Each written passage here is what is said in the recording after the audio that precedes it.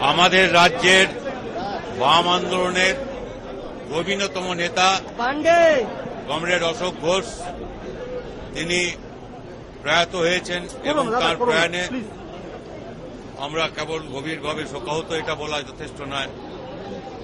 এই যে ক্ষতি হয়েছে অপূরণীয় ক্ষতি হয়েছে তিনি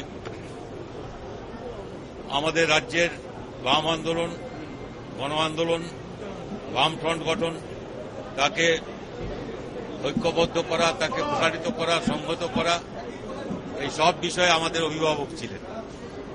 আমরা তাকে হারিয়ে অভিভাবক হারিয়েছি। ওর দেহ নিয়ে কি হবে সেটা মোটামুটি একটা কর্মসূচি তৈরি করেছেন তাদের নেতৃত্ব তারা বলবেন যে এখান থেকে পি সেভেনে যাবে। পাঁচ তারিখে একটু নিচু পুরুলিয়া যাবে তার আগে যেসব কর্মসূচি আছে সেই কর্মসূচিতে আমি থাকব। ছ তারিখে ওর দেহ সমাহিত করা হবে ওর সেই ইচ্ছা মতো। সেটা পুরুলিয়ার। সুইসাতে সেখানে বিমানদা থাকবে। এই হচ্ছে মোটামুটি।